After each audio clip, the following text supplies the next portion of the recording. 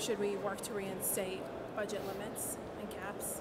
Yeah, absolutely, right. And and the biggest thing is right. So right now we're doing the, the discretionary budget is a third. Right now, the mandatory spending that's Medicare, Social Security, Medicaid, welfare, health. That's two thirds of the budget.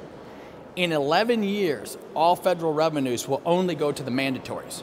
There won't be one dollar left for the military, education, transportation, all of running government.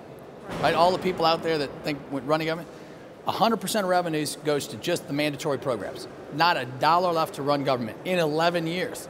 So that's a fiscal crisis. It's guaranteed on paper, right? This isn't theoretical. It's guaranteed. We know it's going to happen.